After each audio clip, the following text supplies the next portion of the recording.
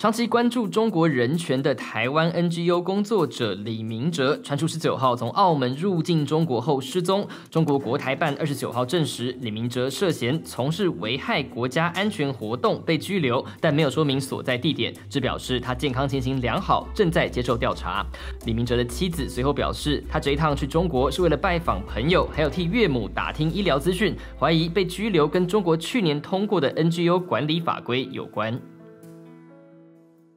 英国驻欧盟大使二十九号到欧盟总部递交首相梅伊签署的脱欧通知书，表示英国正式启动里斯本条约第五十条的脱欧程序。不过，欧盟各国与德国总理梅克尔的立场一致，拒绝和英国同时协商脱欧谈判与未来贸易关系，表示只有先解决脱欧费用、英国境内欧盟公民的权利以及北爱尔兰问题，才会进一步讨论贸易协定。